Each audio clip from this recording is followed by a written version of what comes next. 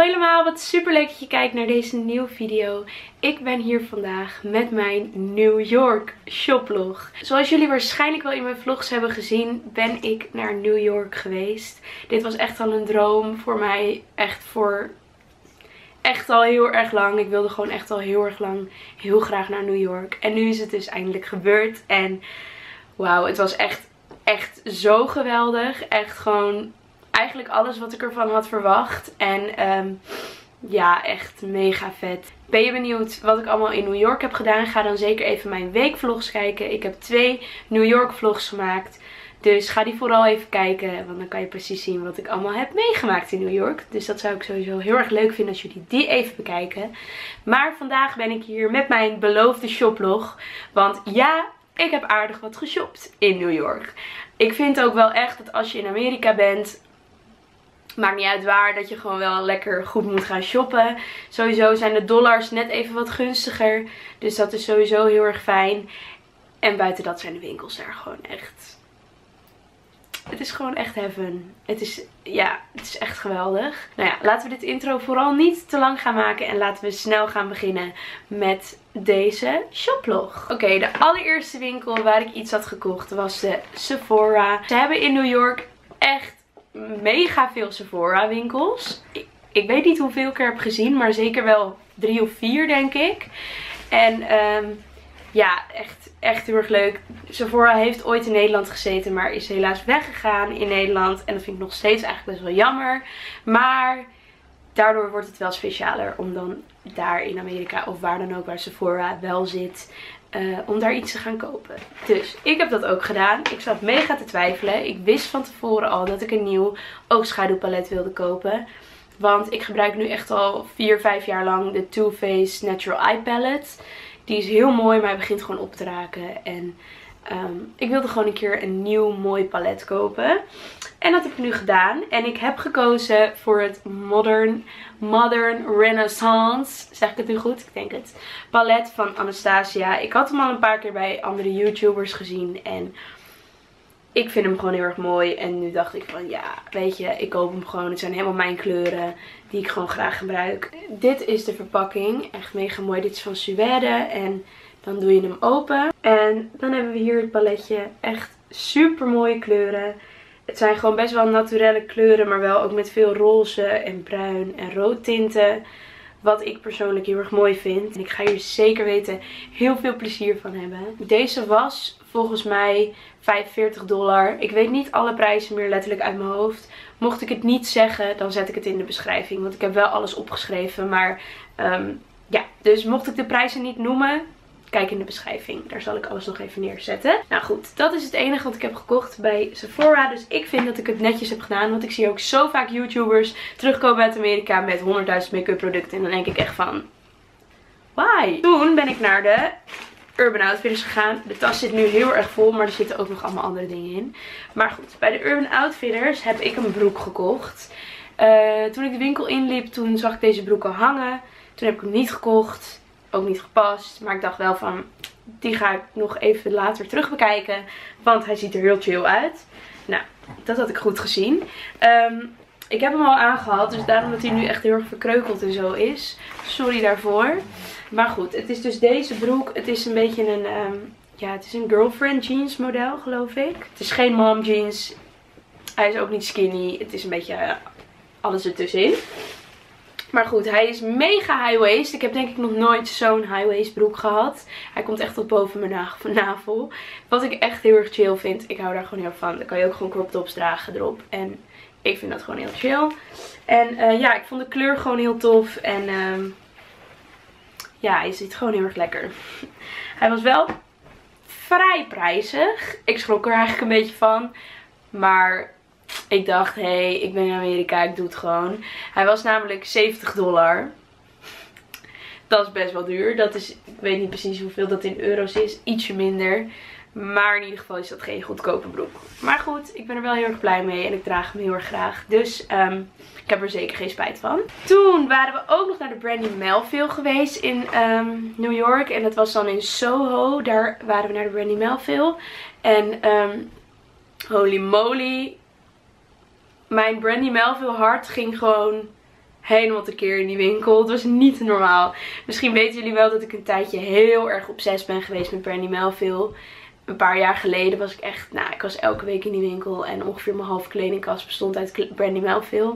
Ik was gewoon echt fan ervan. Toen heb ik een tijdje eigenlijk niks meer gekocht, maar ik blijf het gewoon een leuke winkel vinden. En nu was ik daar in Amerika en die winkel was gewoon zes keer zo groot als hier in Nederland. En ik wist echt niet wat ik zag. En het was zo, zo vet. Bij de Brandy Melville heb ik één kledingstuk gekocht. En uh, daar ben ik heel erg blij mee. Dat is namelijk deze trui. En er staat New York op, of course. Ik dacht van ja, ik kan wel een andere trui nemen. Maar ik wil eigenlijk gewoon iets wat met New York te maken heeft omdat het dan gelijk ook een soort van souvenirtje is. I don't know. Gewoon dat je je herinnert dat je deze dan in New York hebt gekocht. Dat vond ik gewoon heel erg leuk. Uh, ik had deze trui wel in een andere kleur. Um, precies dezelfde trui. Maar ik vind hem zo chill zitten dat ik dacht van... Hé, hey, ik koop hem gewoon ook nog in deze kleur. Want ik draag hem gewoon heel erg vaak. En hij zit gewoon heel lekker. Het is echt mijn chill trui. Dus um, ja, deze. En deze trui was geloof ik ook 45 dollar.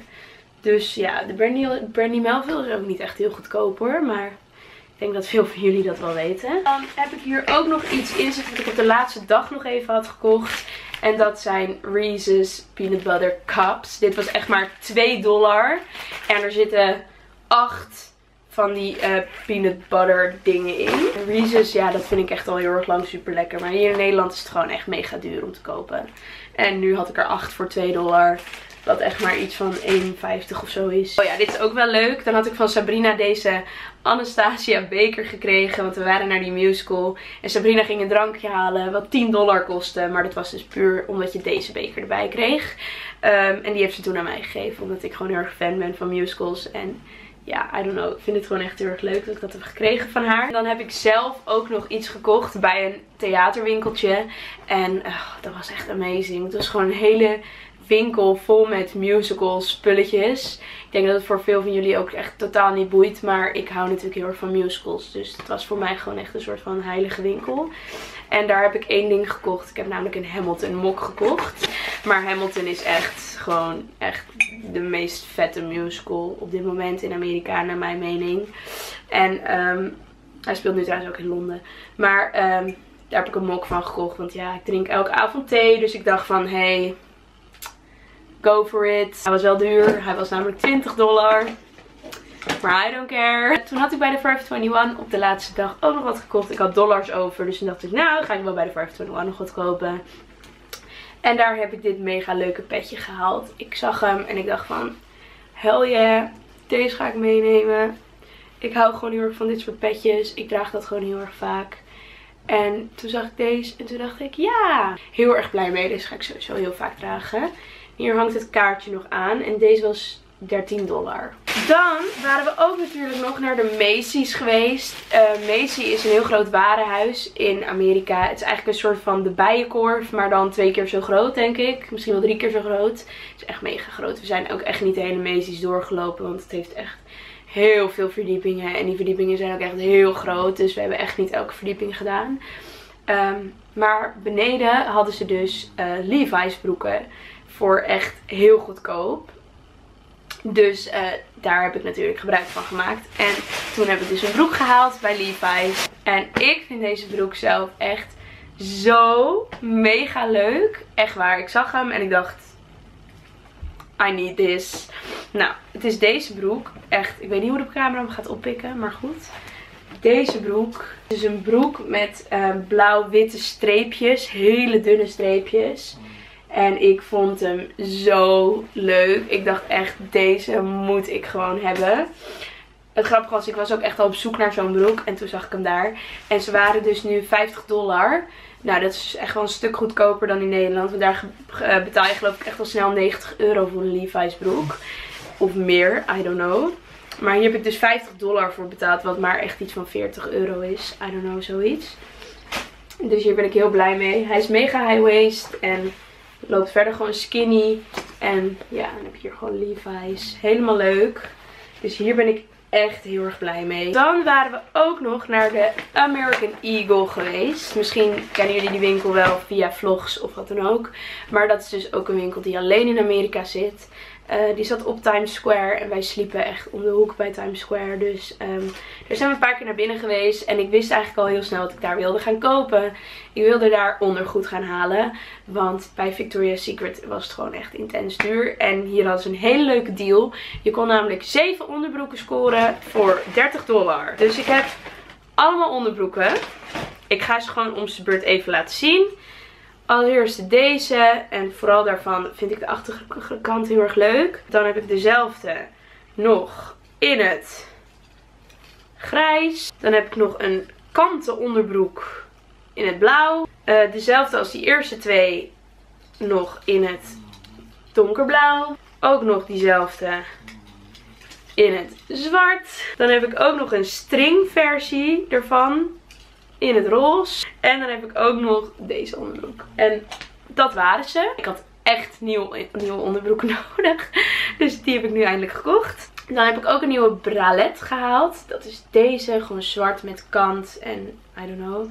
En aan de achterkant is hij gekruist. Deze die kostte 25 dollar. Volgens mij had ik wel nog ook korting op de bralet. Daar heb ik uiteindelijk volgens mij ook geen 25 dollar voor betaald. Daarbij kregen we ook nog, um, of kreeg ik stickers. Uh, dan zit er nog iets in dit tasje wat ik ook de laatste dag nog heb gehaald. En dat zijn namelijk twee liquid lipsticks van NYX. Ik heb de NYX Slip Tease Full Color Lip Oil in de kleur Red Queen. En dan heb ik ook nog de NYX Liquid Suede, Suede, Suede, Suede ik weet nooit wie dat uit moet spreken. En deze heb ik in de kleur 03. Dus een beetje een donkerrode kleur. Dan als allerlaatste heb ik natuurlijk ook nog wat gekocht bij de Victoria's Secret. Want ja, dat hebben we ook niet in Nederland. En als ik iets niet in Nederland heb, dan ga ik het gewoon ergens anders kopen. Ik heb sportkleding gehaald bij de Victoria's Secret. Ik vond alles namelijk best wel heel erg duur. En uh, toen was er een leuke actie. De actie was dat je twee sport BH's kon uh, halen voor 30 dollar. En deze zijn echt heel erg mooi. Oh my god. Nou, als eerste heb ik deze uitgekozen. Ik vond die kleur gewoon echt amazing. En dan staat er hier Victoria Sport. En dan de achterkant is zeg maar met doorschijnend. En dan heb ik ook nog uh, deze gehaald. Die is roze. En dan de achterkant staat er hier met gouden glitters Victoria Sport. Echt heel erg leuk. Daarbij om te matchen heb ik natuurlijk ook een sportshirtje gehaald. En ja, deze vond ik heel erg leuk. Het is dit sportshirtje weer met Victoria Sport. Maar het leuke hieraan is dat je een hele open rug hebt. En dat vond ik voornamelijk gewoon heel erg leuk. Want dan kon je ook gewoon, dan kan je namelijk die sport BH's gewoon onder doen. En dan zie je het ook echt daadwerkelijk. En ehm, ja, ik ben daar gewoon echt heel blij mee. Dus daar heb ik uh, samen 55 dollar voor betaald. En toen was ik een paar dagen later weer in Victoria's Secret, in de andere filiaal. En toen was er dus opeens een actie dat je 50% korting op bepaalde sportleggings kreeg. Nieuw bij Victoria's Secret kosten die dingen gewoon 70 dollar. Nou, dat vond ik gewoon echt een beetje iets te veel geld voor een sportlegging. Maar ja, nu was er dus 50%, dus heb ik uiteindelijk maar 35 dollar betaald. Uh, dus dat is echt heel chill. Ik heb um, één sportlegging, namelijk deze. Hij is gewoon zwart. Maar het leuke detail hiervan is dat je hier aan de onderkant Victoria Sport hebt met glitterletters en dat dit doorschijnend is. Wat je nu trouwens op mijn achtergrond hoort is mijn hond die aan het snurken is. Hou op met snurken. Nou, die is ook weer gestopt met snurken.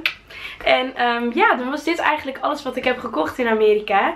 Ik ben er echt heel erg blij mee. Ik vond het ook echt heel erg leuk in Amerika. En um, ja, ben gewoon heel erg blij met alles wat